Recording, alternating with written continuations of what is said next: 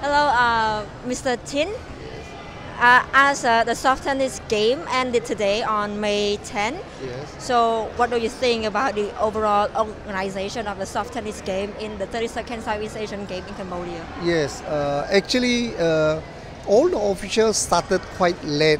They are learning quite late, so there are a lot of mistakes, but still is controllable. Controllable in the sense that there is no incident happen like fighting, whatever. You know, at least the players are well behaved, and uh, the officials are trying their very best to give the best service they can. But of course, human being, you are bound to have mistake.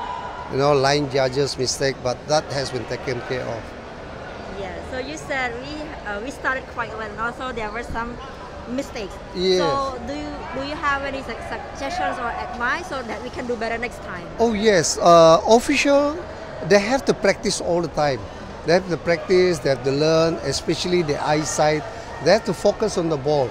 They cannot be looking here and there, you know. Uh, there are of course room for improvement.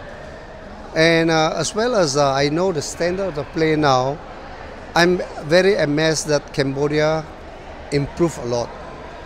The players improve a lot. Yes.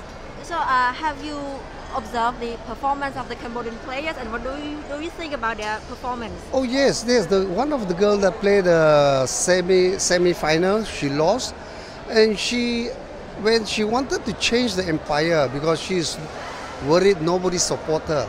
I can see she is a bit nervous because this is her first time in major tournament. You know, uh, it's, a- a big tournament for her. I can see she's not hitting well, but there is always room for her to improve. Uh, I, I, I told her, I said, you have to improve yourself, especially uh, your confidence. When she walk in, the confidence against the opponent, she is already scared. So I think she can be a very good player in future because she is young. Yes. Okay. So there are room for the improvement for the Cambodian player. So uh, what support can you give to them, to the players, so that they can improve their Oh yes, first thing is discipline. They have to be very disciplined players, you know. They have to go to sleep early, listen to the coach, you know, not running away here and there. I, I, I heard a lot about that, but I've never seen.